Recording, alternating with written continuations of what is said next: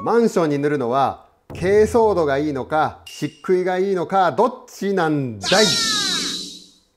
今回は珪藻土と漆喰ではマンションに塗るにはどちらがふさわしいのかについてお話ししていきます。珪藻土を塗ろうかなそれとも漆喰を塗ろうかなと迷っていたりそもそもの違いがわからなかったりしますよね。漆喰について珪藻土について知りたいという方は過去に初心者向けに分かりやすく解説している動画を作っています。概要欄にもリンクを載せておりますのでそちらをご覧ください。では本題のマンションに塗るのは珪藻土がいいのか漆喰がいいのかどちらを選べばいいのかについてなんですけどその答えはマンションならではの欠点に合わせて素材や内装材を選ぶというのが正しい答えです。マンションの欠点とはマンションに住んでいる方であればマンションならではの特徴よくご存知だと思いますがそれは高気密高断熱ということです。これは光熱費が安くなるという最大のメリットでもありますが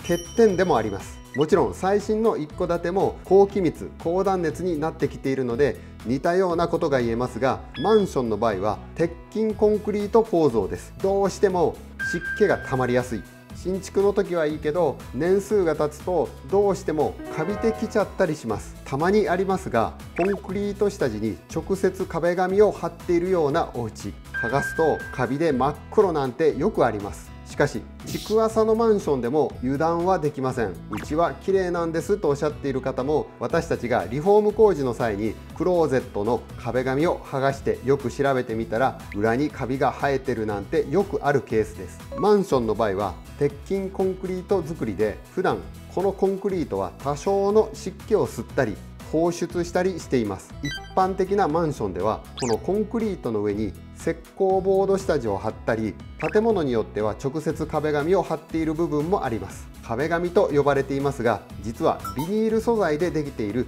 ビニールクロスなのです。鉄筋コンクリート構造の建物にビニールでびっしり蓋をするとどうなるでしょうか。結露が発生してカビが生えてきます。マンションのリフォームやリノベーションに関わっている業者であればこれらカビに弱いという欠点はよく分かっています。ですのでマンションに壁紙ビニールクロスを進めるということは長い目で見るとおすすめできることではありません。しかしリフォーム工事では予算を優先するあまりコストを下げ壁紙やビニールクロスを提案したり貼ったりしていることがほとんどです。もしあなたがマンションのリフォーム工事を頼むのであればそれらの知識を知っている業者にお願いするのが安心だと思います。マンションの欠点は結露が多いことやそれに伴うカビが発生しやすいこと。多くの場合壁紙に隠れて表から見えないということが挙げられます。そこでマンションに漆喰を塗るのが正解なのかそれとも珪藻土を塗るのが正解なのかと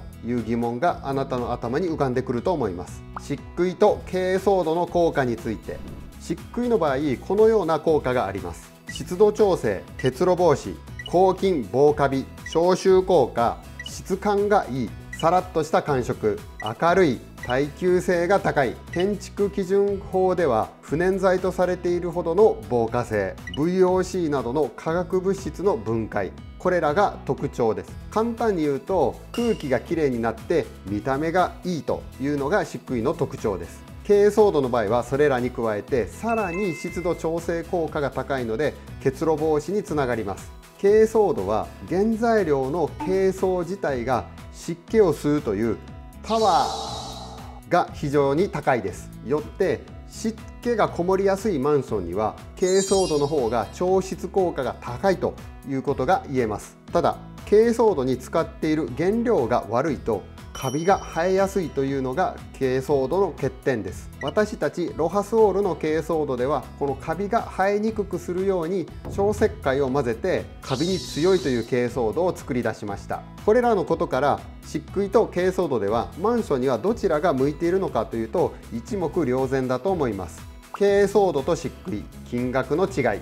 金額については下地の状態や仕上げの模様プロが塗るのか DIY で塗るのかによって金額も様々です。例えば一つ例を挙げるとこれぐらいの大きさのマンションだと床平米が約70平米ほどあります。70平米ほどのマンションだとプロが塗った場合は約160万円ぐらい DIY で塗ると約60万円ぐらいで塗れるような予算感です。もしこれからマンションを買う際に漆喰にしようか珪藻土にしようか悩んでいるのであれば無料相談がありますので説明欄のリンクからご連絡ください。この動画を見たリフォーム業者さんでこれまでお客様に自然素材の漆喰や珪藻土を提案していなかったなちょっと興味があるなと思われるのであれば社内向け勉強会も行っておりますのでお気軽にご連絡ください。ロハスオールでは塗り壁を日本の文化にするという活動を本気で行っています。せっかく日本で素晴らしい素材があるのに